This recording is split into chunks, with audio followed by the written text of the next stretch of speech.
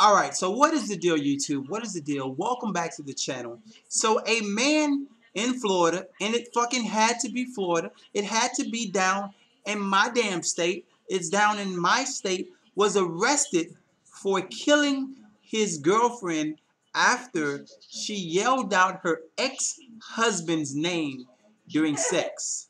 Apparently, the woman got drunk.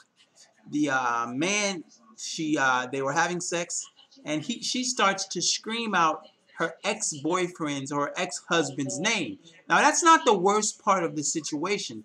The worst part is how he killed this woman and what the police report is saying. The police report says that he reached into her body, put his hand into her vagina, and ripped out her organs, which is absolutely disgusting. I'm glad they didn't have video of the crime scene or any of this shit.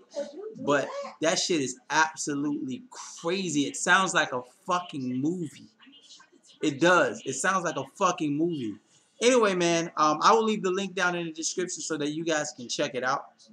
I'll talk to you guys next time. Peace.